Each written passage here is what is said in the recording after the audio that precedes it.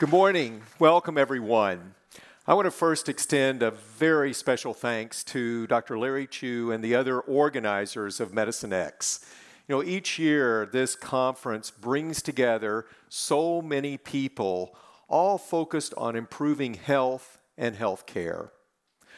Represented here today are patients, healthcare providers, basic scientists, clinical scientists, entrepreneurs, technologists, payers, and health policy experts, all coming together to form a community, a community of knowledge and dedication to improving health and health care.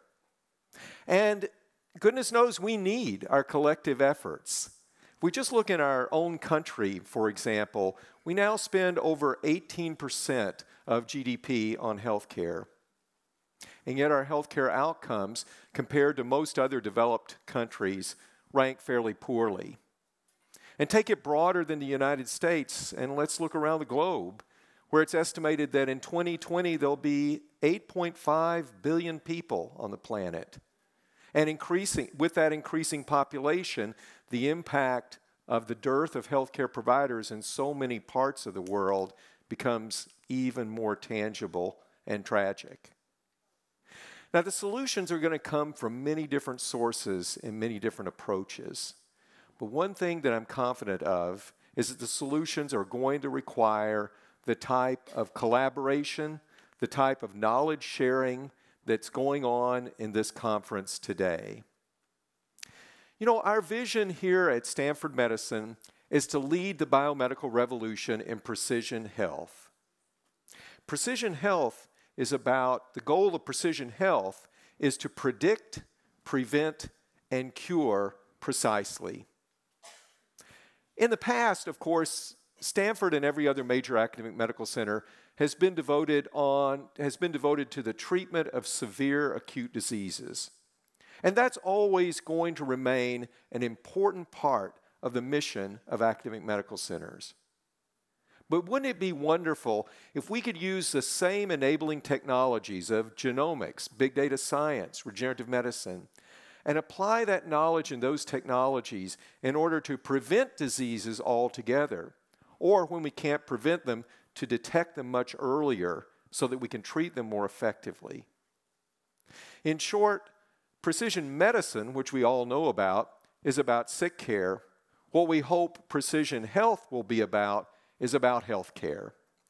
Precision health for sure incorporates precision medicine, but the way we know that we collectively have achieved success in precision health is that the need for precision medicine will be much less in the future because we'll be keeping all of us much healthier than we've been able to do in the past.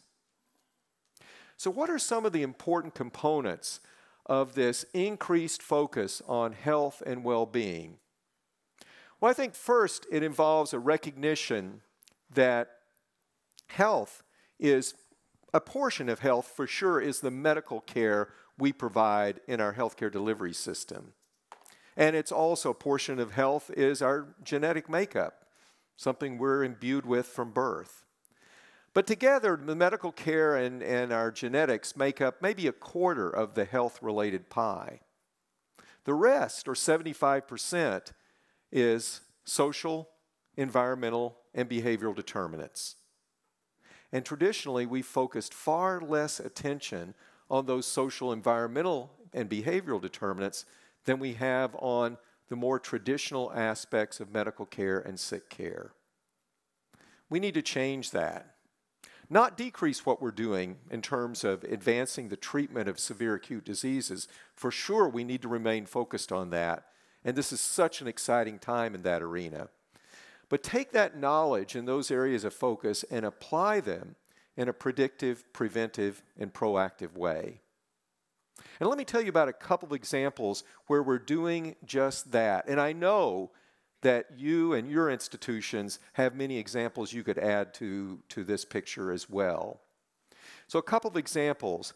Dr. Mark Cullen, who's the Senior Associate Dean for Research at the Stanford School of Medicine and the Director of our Center for Population Health Sciences, Mark and his colleagues have found that there are critical periods during life for the development of chronic diseases such as hypertension and diabetes. And that interventions during those critical periods will have much more effect on preventing those chronic diseases or at achieving a better management strategy than treatments at other periods, typically later periods in the course of the disease. Giving us the knowledge we need to plan effective treatment interventions and preventions in ways that we couldn't before. A second example, you know, here at Stanford, we're really big on acronyms. You've probably seen it walking around the campus. But a couple of years ago, a group of our uh, faculty, and this particular project was led by Tom Robinson, a professor of, of pediatrics, put in a, and received a grant from the National Institutes of Health to start a center called SPHERE, Stanford Precision Health for Ethnic and Racial Equity. And one of the projects in Sphere that's being directed by Tom Robinson is a project looking at obesity among Latino American children in Santa Clara County. You know, the incidence of obesity among uh, Latino American children is extraordinarily high, about 39%. And the data on the chronic diseases that follow obesity in children is overwhelming diabetes, kidney problems, a host of other illnesses and maladies and life limiting conditions related to obesity. So, how do we understand this obesity epidemic? And then, how do we do something about it? Well, we can gain understanding from looking at genomics, from looking at the microbiome, from other metabolic features in these children and their families. But also, we need to gain an understanding of the social, behavioral, and environmental factors that are playing an important role in, in the obesity epidemic. And that's exactly what Tom and his colleagues are doing. It's through approaches like these, taking the very best science that's come about from our focus on, in many cases, our focus on sick care, and applying that science in a predictive, preventive, and proactive way. I know that each of you is going to gain a lot of ideas, a lot of encouragement and enthusiasm from your, from your participation in this conference. My challenge to you is to take the energy and enthusiasm that's in this room, and it's also in the places where people are watching on the web streams, take that energy and keep it focused in the work you're doing every day. It's going to take a collaborative effort. It's going to take all of us working together to have the type of impact on health and healthcare that I know we all can have. Thank you all for your participation. I hope you enjoy the conference and let's stay in touch. Take care.